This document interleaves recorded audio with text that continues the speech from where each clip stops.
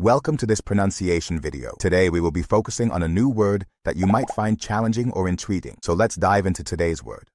Menos, which means fewer, less, to a smaller extent or degree. Let's say it all together. Menos.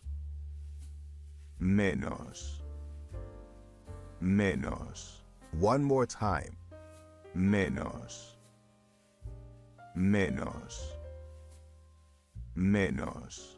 Thank you for joining us on this adventure in pronunciation. Remember, language is a journey, not a destination. Keep exploring, experimenting, and expanding your linguistic horizons. We'll see you next time.